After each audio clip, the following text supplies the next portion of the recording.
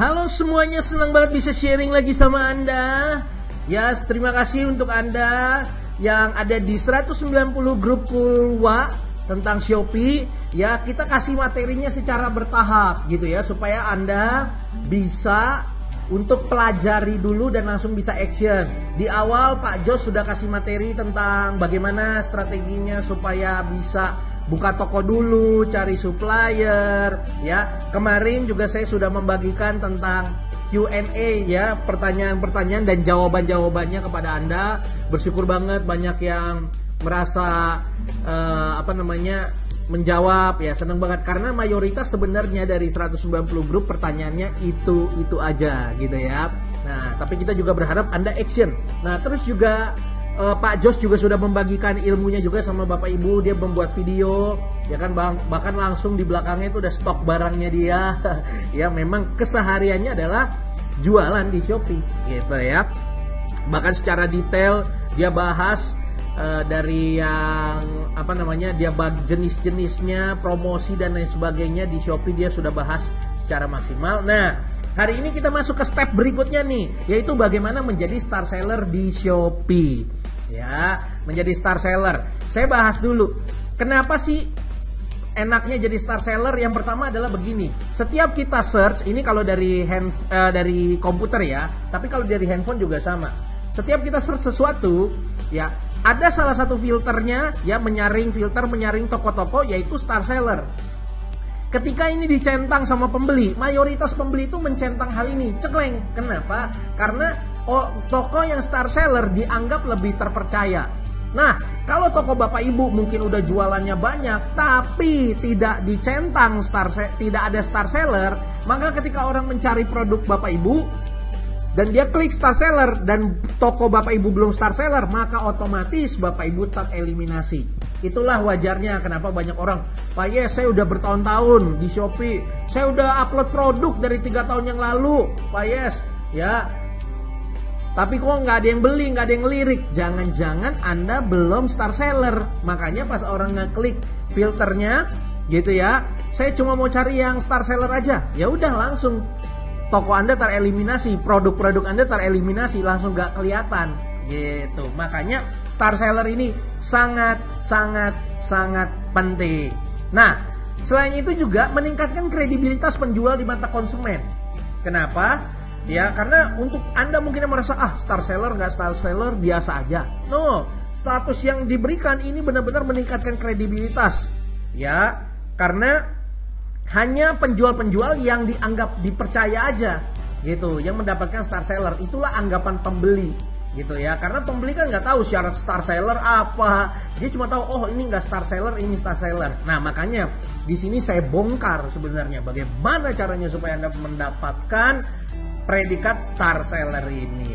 Terus juga yang kedua, lebih banyak konsumen yang bisa melihat produk yang Anda jual kalau Anda star seller. Kenapa? Kalau Anda star seller, Anda mendapatkan fasilitas-fasilitas khusus dari Shopee.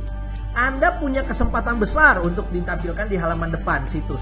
Semua mau dong taruh di halaman depan. Semua mau dong kalau di pencarian tiba-tiba di halaman satu. Nah, itulah salah satu kemudahannya kalau star seller. Selain itu, Anda juga kemungkinan besar diundang di program-program promo Shopee. Ya, seperti flash sale, ya, dan lain sebagainya. Banyak sekali promo-promo di Shopee. Nah, banyak orang yang nanya, kok Pak ada yang dapat promo gratis ongkir, ada yang dapat promo uh, apa namanya diskon besar-besaran dan lain sebagainya. Kok bisa? Kok saya nggak dapat ya? Padahal saya udah di Shopee bertahun-tahun. Yes, jawabannya adalah yang dapat duluan kuotanya adalah mereka yang star seller. Makanya pastiin kalau kemarin Anda udah buka tokonya, sekarang bagaimana caranya Anda bisa nyampe di star seller, ya. Dan yang ketiga ini juga meningkatkan omset penjualan Anda di marketplace Shopee. Ya, otomatis karena kredibilitasnya naik, kesempatan dilihatnya lebih banyak ya otomatis lah omset juga naik, betul kan? Itu udah rumus standar lah di dunia penjualan, gitu ya. Nah, apa syarat star seller? Syaratnya ini ya uh, kriterianya nomor KTP sukses diterima disetujui ya toko mempunyai presentasi chat dibalas 80% toko mempunyai penilaian 4,5 minimal ya lalu juga memiliki minimum jumlah transaksi berhasil ya sebanyak 100 pesanan dalam satu bulan terakhir Ya, jadi saat dalam satu bulan pastikan Anda dapat penjualan 100. Gitu.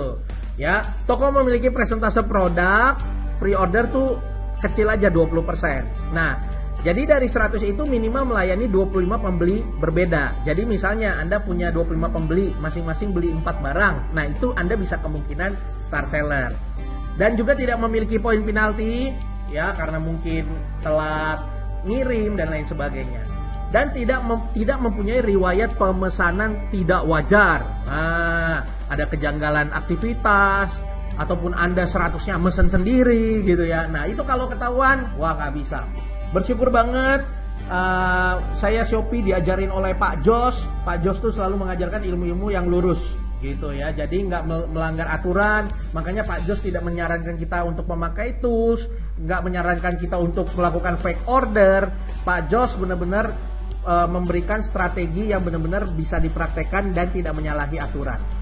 Gitu ya. Ini yang yang kiri ini yang 100 ini adalah menjadi star seller. Mempertahankannya setiap bulan adalah kita punya transaksi berhasil sebanyak 50 pesanan sebulan gitu ya dan lain sebagainya.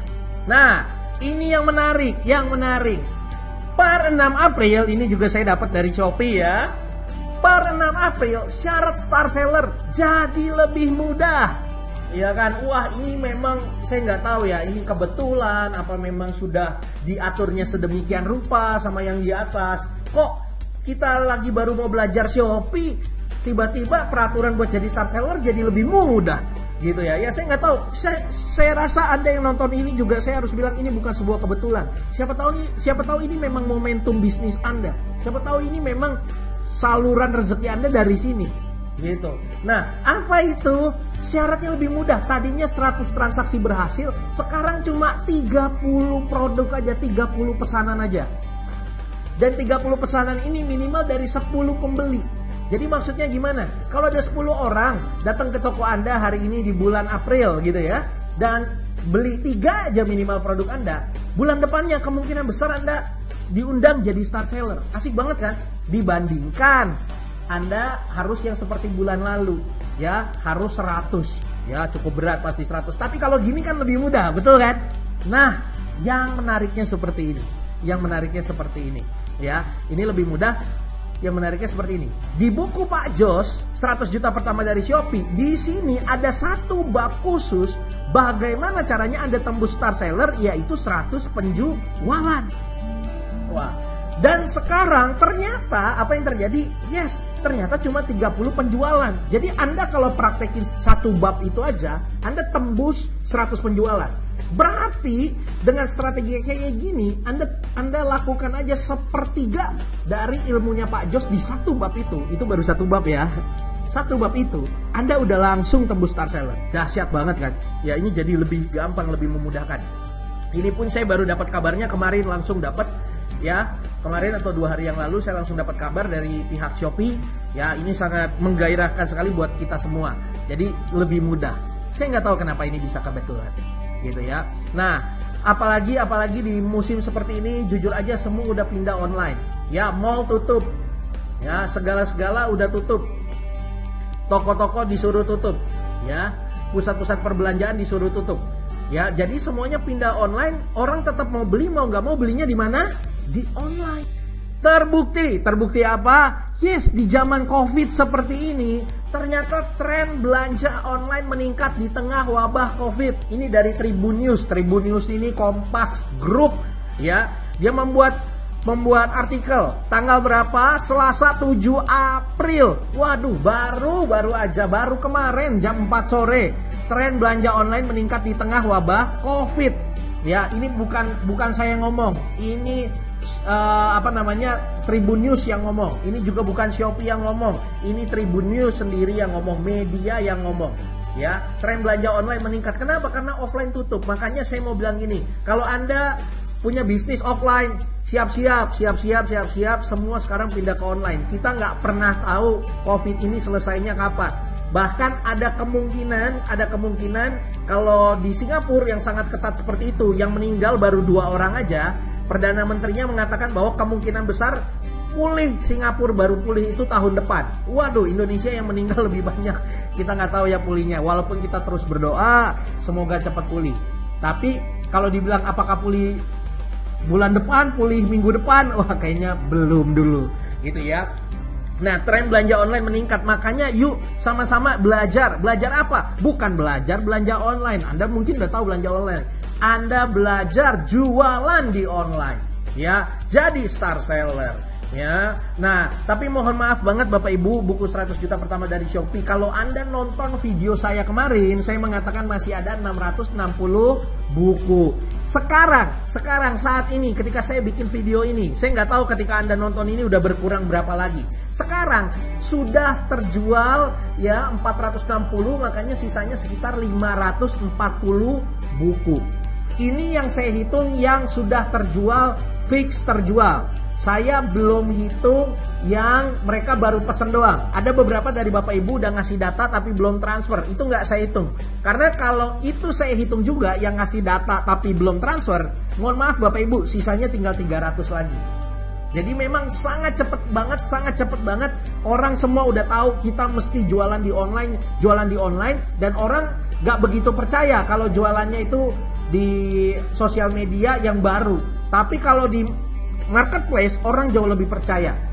Orang yang jarang online itu lebih percaya untuk beli sesuatu itu di marketplace gitu ya. Sisa 540 buku lagi, ini 540 buku dibagi 190 grup. Berarti kalau ada tiga pembeli di setiap grup, maka bukunya habis. Mohon maaf Bapak Ibu, kalau udah tiga pembeli, tiga orang yang transfer bukunya ha habis.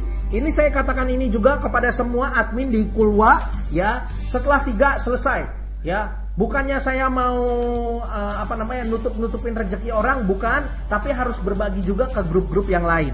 Nah, terus Pak Yes, kalau saya udah kemarin kan udah isi form gitu ya, udah kasih alamat, itu udah kehitung atau belum? Mohon maaf belum.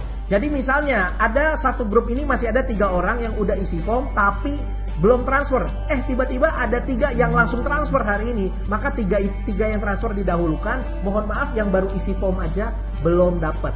Jadi ini hitungannya siapa yang cepat-cepat transfer, ya. Nah makanya Bapak Ibu pastikan ini tinggal tiga lagi, ya. Uh, apa namanya pastikan kalau Bapak Ibu mau Bapak Ibu bisa langsung daftar Bapak Ibu langsung bisa transfer karena setelah itu tidak akan dicetak ulang lagi kalau mau benar-benar dapat ilmunya mau nggak mau harus ikut workshopnya Pak Jos ya.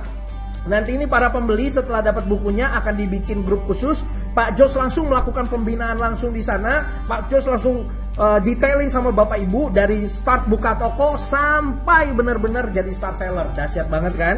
Ya, karena memang kita uh, apa namanya after salesnya, pendampingan kita full support semuanya untuk keberhasilan Bapak Ibu.